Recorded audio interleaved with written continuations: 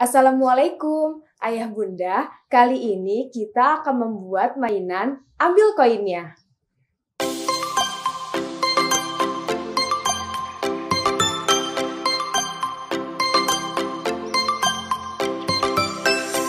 Cara bermain.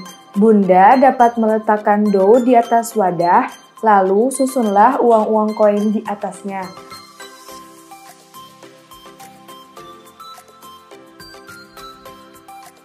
Pastikan uang koin tersebut cukup kokoh dan kuat. Ambil uang koin tersebut dengan menggunakan pinset.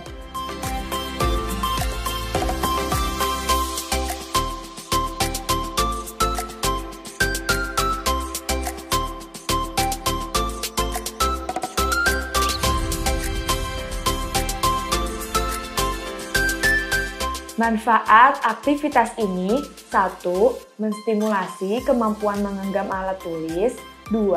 Menguatkan otot-otot jemari tangan 3. Menstimulasi perkembangan koordinasi mata dan tangan 4. Menstimulasi perkembangan motorik halus dan 5. Menstimulasi ketelitian, fokus, dan konsentrasi.